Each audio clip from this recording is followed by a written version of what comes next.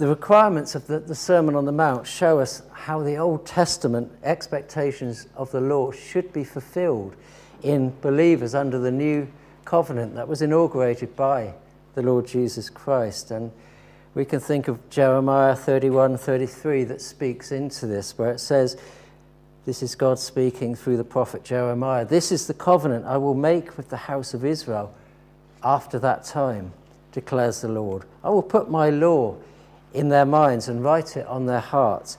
I will be their God, and they will be my people. Now, it's the Holy Spirit who does this, of course, and it's only by His work giving, giving us the new desires of our heart and empowering us to overcome sin and temptation that we can even begin to strive to live up to the holy standards that we see in the Sermon on the Mount. We see the Sermon on the Mount as a number of things. It's a code of godly living, of course, for followers of the Lord Jesus Christ. It's a stark contrast between God's kingdom values and the world's values, and it's a contrast with the superficial faith of, of the Pharisees, and perhaps we could say today's equivalent as well, and that of truly born again believers. And the Beatitudes show Christian character, and the metaphors of salt and light relate to the influence of that character in the world, the influence we as believers in the Lord Jesus Christ should show. The Beatitudes are progressive and they're interlinked, with the first one relating to a, a person's helplessness before God. Let's read verses 1 to 3 again together. Now, when he, that's Jesus, when he saw the crowds, he went up onto the mountainside and sat down. His disciples came to him and he began to teach them, saying, Blessed are the poor in spirit, for theirs is the kingdom of heaven. Now, this refers to those who are under no illusion that they fall way short of God's holy and perfect standards and need his forgiveness and reconciliation and are humble enough to confess that before God. They acknowledge, we acknowledge our spiritual poverty and our utter helplessness to make ourselves right before God.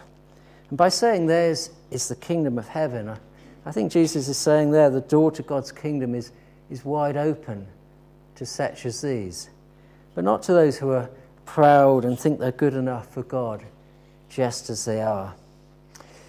Let's move on and look at verse 4, where it reads Blessed are those who mourn, for they will be comforted. And this refers, I think, to two interrelated things. Firstly, for the sin in our own hearts, an awareness of how far short we fall of, from God's perfect standards. And, and Grant prayed into that in his prayer a, a few moments ago. Uh, but secondly, it's a mourning also for, and a deep sadness for the many manifestations of sin and of evil we see in the world around us. We just need to turn our TVs on for the news or radios on to to see that. From an individual perspective, it would, we could say it's a simple but necessary step from confession to contrition or repentance. And just as Jesus wept over the sins of, of many others, so Christian believers should also show a deep sadness for the sins of others, whilst not hypocritically, of course, forgetting our own fallen nature, not being judgmental. For who are we to judge?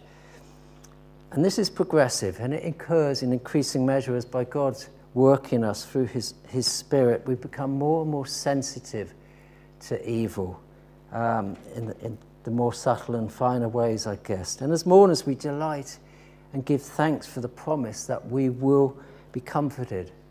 What does that mean? Well, I think it says we, we know both peace with God and peace from God, but also as we look forward to that glorious eternity where sin will be banished, evil will be banished from our own hearts and all around us as well. And a person who's genuinely poor in spirit and consequently mourns for the sin in their own heart and in the world cannot be proud or boastful, or should not be proud or boastful, but rather as Verse 5 tells us they'll be meek. And as Jesus says, such will be blessed. Meekness, of course, isn't weakness. Often it's confused as weakness. It's not. It's possessing a true humility and a gentleness of spirit. And it's not necessarily thinking less of ourselves, but thinking of ourselves left, less often, but also thinking of others more, perhaps more than we do. And as meek Christians, we rejoice that we will inherit the earth, the new earth, of course, in the, the glory to come. And the spiritual progression continues through the Beatitudes. Folk who confess and repent of their sin and desperately sad at the sin in the world cannot be unchanged by these things. It leads to strong desires to see change both in ourselves and, of course, in the world. In other words, they should, as, as verse 6 tells us, uh, refers to rather, hunger and thirst for righteousness.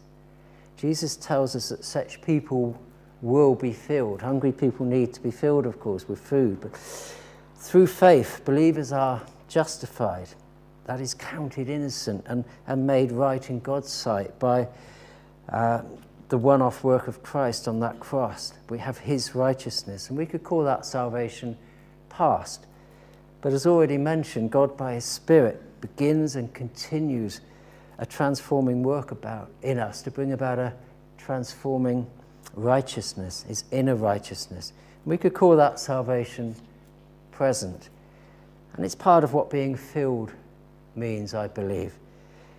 But we mustn't forget the eternal perspective uh, to its fulfillment, when in the eternal glory, as I've already mentioned, we'll be completely free from the presence of sin in and around us.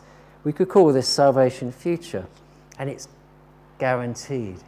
It's guaranteed to all who are true believers in the Lord Jesus Christ. If you don't know Jesus, and I'm speaking to people maybe watching online now or at a later date in the week, then speak to someone here about that. Pray to God, ask Him, help me to believe, Lord, forgive my unbelief. Nothing, nothing is more important than knowing Jesus as your Lord and your Saviour. And for believers, these things should lead for, to a desire for righteousness in the world as well as in our own heart, the world around us, and for us to be agents of righteousness. Looking forward, looking ahead now to being salt and light. This is a living righteousness, being as Jesus commanded, salt and light. Verse 7 tells us that the merciful will also be blessed by being shown mercy. In many instances, we see, sometimes on the news or in different contexts, where people have had wrong done to them, we often see hatred and a desire for revenge. But God's ways are different, truly countercultural. For we who've been shown such mercy and benefit from such great mercy must also show mercy to others, and we should desire to do so. This is part of the new nature in Christ. And by God's transforming power resulting from surrendered lives to Christ, we can do this consistently, regardless of the personal cost to us. And it relates to showing kindness to others, love in action, showing the fruit of the Spirit we read about in Galatians 5. And God sees such individuals who show these qualities as pure in heart. The next beatitude in verse 8 in our passage, excuse me, where Jesus says, Blessed are the pure in heart, for they shall see God. And it, our inner eyes are more and more open to see the glory and beauty of God. And of course, this doesn't relate to perfection this side of eternity, but to the attitude and the direction of our hearts. As we seek however imperfectly, to imitate Christ, the Prince of Peace. So we too should be peacemakers. Moving on to the next beatitude in verse 9. For when we possess both peace with God and peace from God, we should naturally, supernaturally perhaps, seek to be agents for peace in this world, even if it, again, even if it brings trouble and suffering to us, as it often does in a world that's largely hostile and rebellious to God and his ways and his people. And as true peacemakers will be called, as Jesus said, children of God. And this is another example of how true, true children of God should conduct themselves in the world. Let's move on then to the last two Beatitudes in verses 10, 10 to 12. If you could turn to your Bibles and we'll read these together. Blessed are those who are persecuted because of righteousness, for theirs is the kingdom of heaven. And blessed are you when people insult you, persecute you, and falsely say all kinds of evil against you because of me. Rejoice and be glad, because great is your reward in heaven. For in the same way they persecuted the prophets who were before you. A double beatitude here on the theme of, of persecution and the opposition that we can face. And Jesus tells us that those who are persecuted for righteousness and because of him have the kingdom of heaven and can rejoice and be glad because great is their reward in heaven. In the same way they persecuted the prophets who were before you. The words in the same way they persecuted the prophets who were before you reminds us that as followers of Jesus, as God's children, we are successors of his faithful servants all through history to this very day. To be persecuted for righteousness sounds perverse, really. Why, for doing right, why should we be persecuted? Um, but it's what we should expect from a, a rebellious world whose values are diametrically opposed to those of God, to God's kingdom values.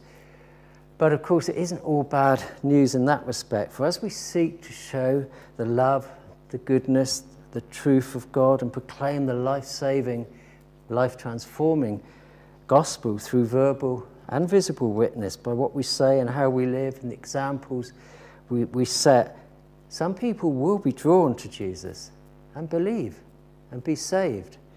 Others, maybe they don't believe, but can be positively influenced for good, being salt in the world.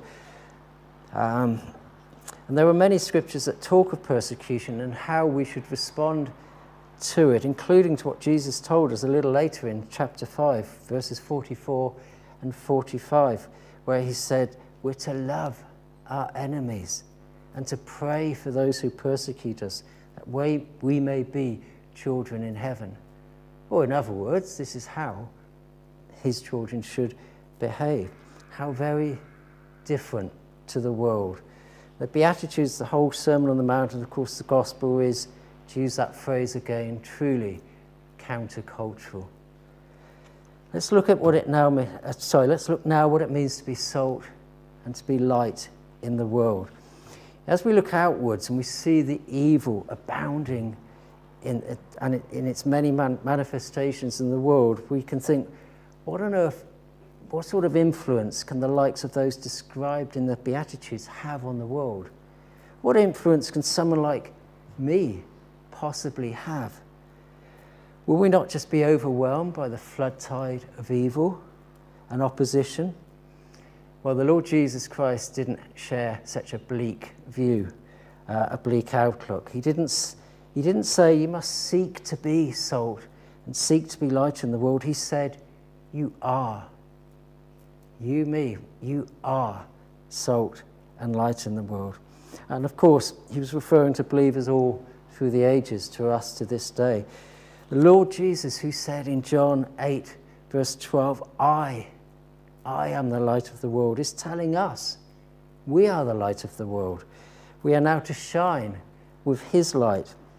He tells us this because, as we read in a number of places in New Testament scripture, that we are now his body his representatives on earth. And in line with this, or linked to that, uh, from 2 Corinthians 5, verse 20, where we read that we are therefore Christ's ambassadors, as though God were making his appeal through us. Through us. And Jesus told a ragged bunch of relatively simple, uneducated, common men who lacked, at the time, spiritual understanding and who, at the time of his betrayal, his arrest, his unjust trials, his crucifixion, denied him, abandoned him, hid away. He told them, You are salt and light of the world. But of course, we know then, post resurrection and post the filling of the Holy Spirit, at Pentecost, they set the world on fire with the good news of salvation, the gospel. And the church grew and spread, first to the Jews, then to the Gentile world. And it grew despite the fires of persecution raging in the early days of the church and throughout the ages to this very day. Persecution, the fires of persecution rage to this very day, yet the church grows. And yet we can sometimes despair when we look at the seeming decline of the church in the Western world, maybe even our own country, and the compromise, maybe sometimes the outright apostasy of parts of the visible church.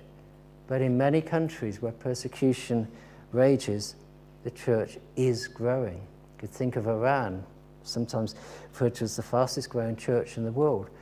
That's not an easy place to be a Christian. Could name numerous other countries. So when we think of those early believers we read of in Acts and their amazing missionary work, let's remember again that we here, this ragged, ragged bunch of believers, are their successors, as I said earlier. So, what do the metaphors of being salt and light actually mean? Firstly, Jesus, most importantly, is indicating that the church, his true church, uh, and the world are distinctly different communities. In recent times, maybe it's been fashionable in some Christian circles to, to blur this distinction. But this is serious error. We are different. Salt, as we know, it's a common everyday commodity then as, as now, with two main uses to, to enhance the flavour of food, seasoning, I guess is the right word there, but also as a food preservative, particularly for meat and fish to prevent decay. Grant and Claudine probably know about that with dried meat uh, in South Africa called biltong, yeah? Um, so salt has those uses, and light, of course, is needed to dispel darkness. Light and darkness cannot coexist in a sense. And light allows folk to see where they're going. It allows them to walk on that right path when it's dark around. And we, but we know that due to sin entering the world and affecting every, every individual, the world is decaying. Cannot help but do so. And sin breeds sin. Uh, Unchecked, sin will breed sin.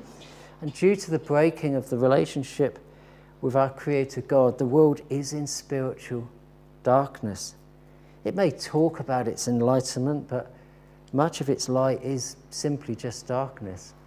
I think I'm probably going to misquote this, but I think Paul Mallard last week um, talked about philosophy or philosophers.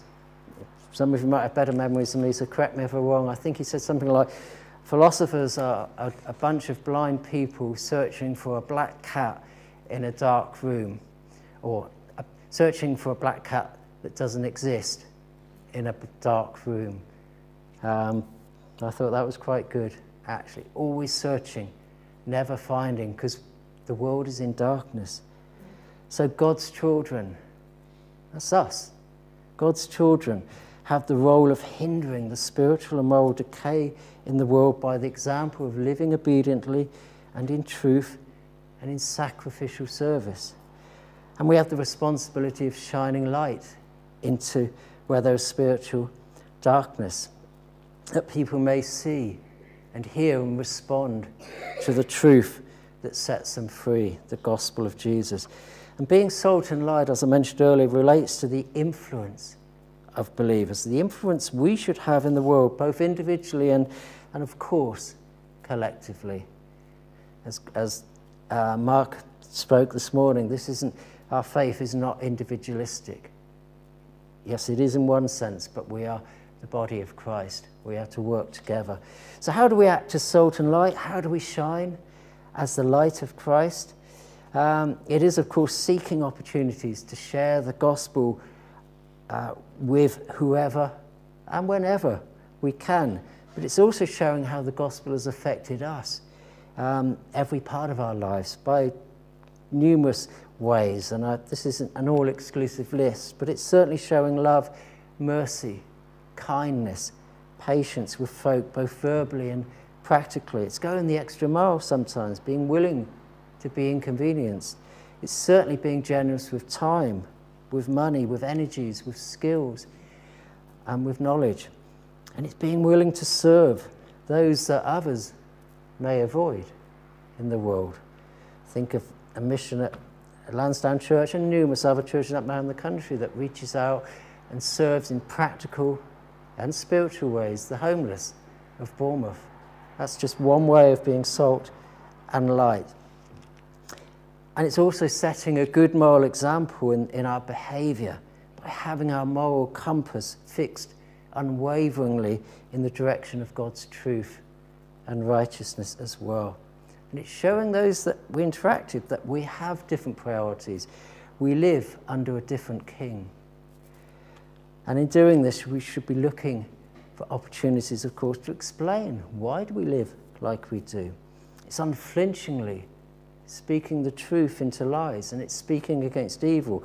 But of course, doing this with respect and with gentleness and love, of course, without being critical, without being judgmental. It's hating the sin and the lies, but loving the sinner. That sounds a bit cliched, but we'll use it anyway because it's true. These, these words were attributed, I think, to Dietrich Bonhoeffer, and they speak powerfully into this. He, he thought he said, Silence in the face of evil is itself evil.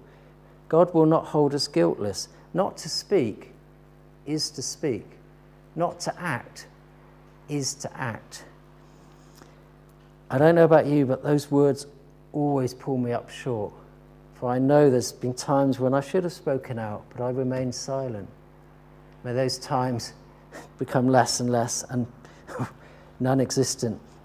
This Christian pastor certainly knew what it meant to stand against evil in Nazi Germany, for he paid with his life for his uncompromising Christian witness. Uh, as many in the world are today as well, paying with their literal lives, um, their mortal lives, of course. And we can think of numerous believers through the ages who've been effective sold, uh, and shone brightly with Christ like light. Probably one of the first names springs to mind, a lot of people, a lot of Christians' mind will be George Wilberforce. Uh, his work, along with many other Christians, for abolishing slavery. But he did much else besides that a lot of people are in ignorance of.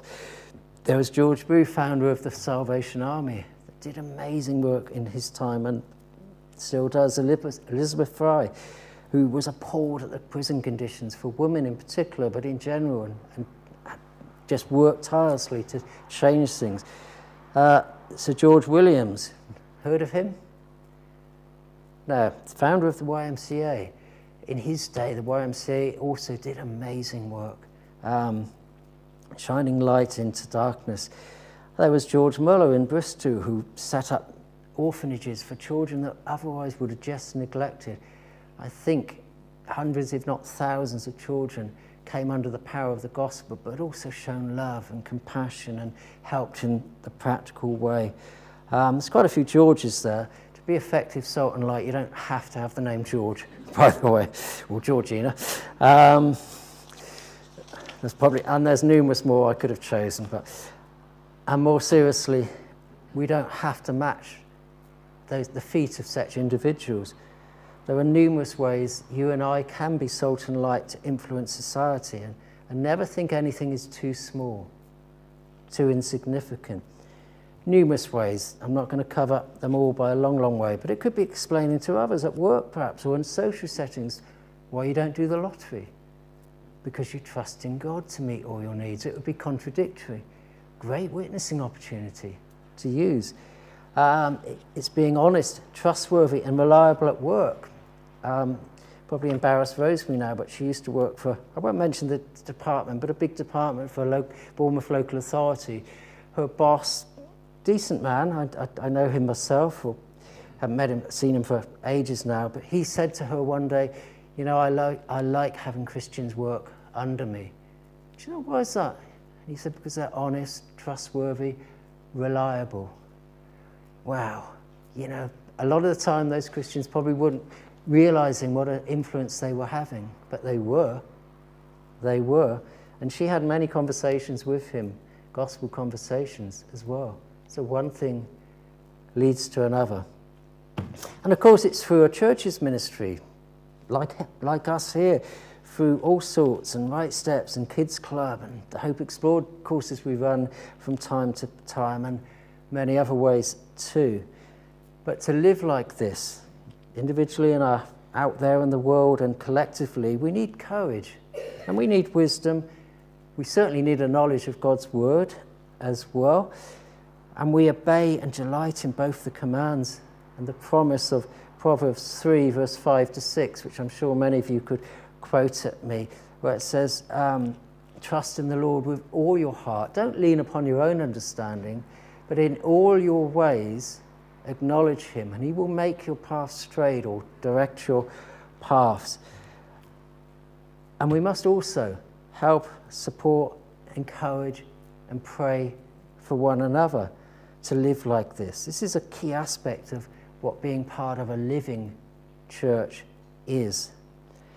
So, what helps us to keep salty and our light shining brightly and, invisibly? It's simply knowing and living obediently in God's will for the lives of His redeemed children. And we find His will, of course, in His Word, in the Bible, in the teaching on godly living that you'll find at the end, the second part, if you like, of Paul's letters. Read the book of James for an amazing um, instruction on practical holy living. But of course, let's look at the supreme, perfect, and supreme example in the, the life and the teaching of Jesus, the eternal Son of God. So let's not neglect reading and rereading the four Gospels too. So much of Scripture can, can help us in this. And it's been said before, but I think a really, really good spiritual habit is to pray on Scripture. Because it's, I think Paul Mallard touched on this last week, it's like a mirror. It simultaneously shows us how we should be, what we should be like, but then reminds us what we are really like, um, that we fall short a little bit. It's not like the mirror that evil queen used in uh, Snow White used, where uh, it would always tell her lies. Scripture is always honest to us. When we read about the high standards of holiness and godly living that our Heavenly Father expects from His children, we realize we invariably fall short of this. So pray on Scripture that you read. Ask God by a Spirit to help you, to be obedient to it, to transform you more and more into the likeness of Christ. And He will do this. He will do this. Most addictions are, excuse me, usually bad and in some cases very, sadly, very bad indeed. But it's no bad thing to be addicted to God's Word. But with a proviso, I think, but only, only if we come to it reverently it is, after all, the very Word of God. So we come to it with a genuine desire to know, to understand, and most importantly, to continually be transformed by it and to live obediently to it, not just read it for knowledge's sake alone. As we come to a close, we cannot ignore the warnings that Jesus gives. We must not lose our saltiness. For Jesus warns us that such salt is no longer good for anything except to be thrown out and trampled by people. Nothing more than road dust, we could say. How do we lose our saltiness? Well, another example in the light of what we've just been looking at is neglect of God's word. Technically, salt, sodium chloride, I, I'm led to believe, is a very stable compound that's resistant to most attacks. However, it can be contaminated, polluted by other substances. It can then become useless, maybe sometimes even dangerous. And so, importantly, if we're not being filled with the truth, the teaching, and the instructions of God's Word, they're not just being empty space in our hearts, in our minds, but the toxic beliefs and values of the world will seep in. And there's a danger we become like a a rudderless ship on stormy waters, unstable, without a true bearing.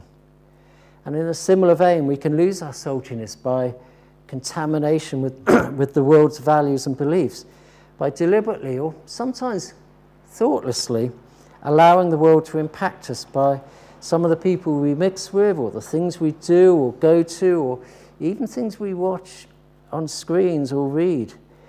Some of the things that can, contamin- can contaminate us may be actually quite subtle, but maybe the, the more subtle things are the more dangerous things because they sneak under the radar, as it were. So we must be aware.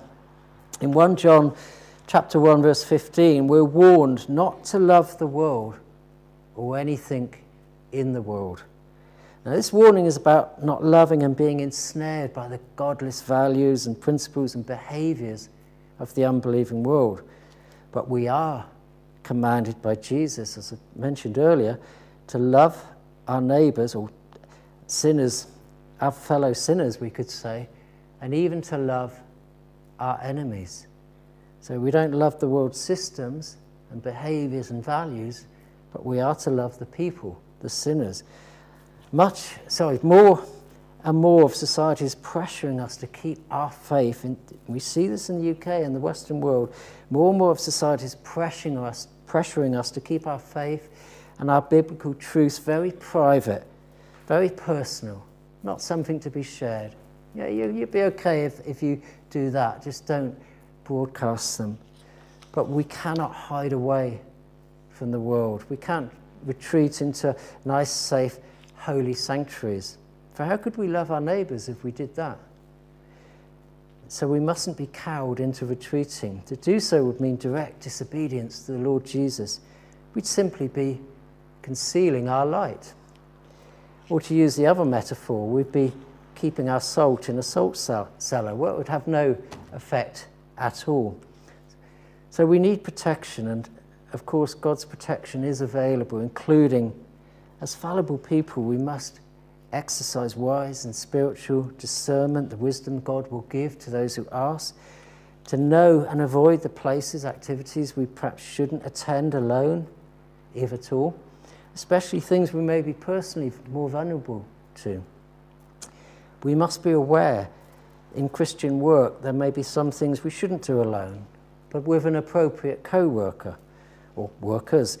And we should learn what it means to wear the spiritual armour that's spoken about in Ephesians 6, verses 10 to 20.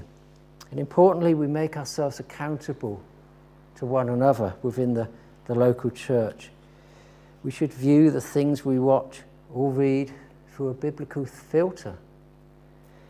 And we are to bring everything we do to the Lord in prayer, which of course is to acknowledge Him in all our ways. And we know the promise, He will then direct our paths. And just one more reminder, of course, to feed regularly on God's word. Um, and in all these things, we need the support, counsel, and importantly, most importantly, the prayer of one another, just to reiterate that point. As Christ followers, and hopefully Christ proclaimers, we're not just individuals, but parts of the greater body of Christ. This is part of what Mark talked about this morning. Each part, each person has a part to play towards our common mission to glorify God, to proclaim the life saving, life giving gospel, and to make disciples of those who come to faith. So we must not conceal our light, but in God's strength be bold and courageous and shine with the light of Christ. We mustn't let our salt become corrupted, polluted, be good for nothing to be thrown out and trampled underfoot by people. For who wants to be nothing but road dust? Salt and light, Christian character, Christian influence. And being salt and light is part of obeying Jesus and denying ourselves and taking up our cross and following him. This is what, what he who gave up everything for us expects of his disciples. And so we obey. And we encourage one another in this obedient living, even though at times the going will seem tough. There may be a temporal price to pay. It will sometimes seem like we're swimming against a strong tide, but we press on because God spoke, as God spoke to Joshua, He still speaks to us, encouraging us too to be strong and courageous, for He will never leave us nor forsake us. And we press on because the victory has been won at Calvary. And we have an eternal inheritance that can never perish, spoil, or fade, kept in heaven for us, kept in heaven for you. Amen.